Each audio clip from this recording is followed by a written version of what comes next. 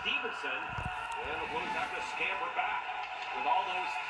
What a pass Double, by Schenn. yeah, all those double line formation drop passes. I think Krug was like, guys, I need some help up here. They drop it off Tarasenko. Here's Schenn right up. Shot. They What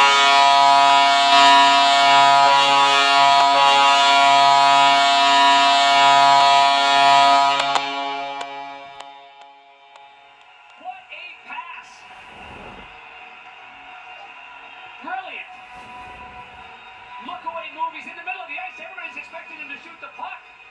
And after Schenn makes that pass there to begin it to Perron who gains the zone. And now Tarasenko plays it back to Schenn. And as Schenn's falling down, he gets tripped up right there. Going down, still has the presence and calmness of mind to put it right on the tape. Just a brilliant feed and a finish by Perron. Who gets his 11th of the year, extends his point streak to eight. His fourth power play goal that leads the Blues, and they lead 4-3. What a game tonight in St. Louis.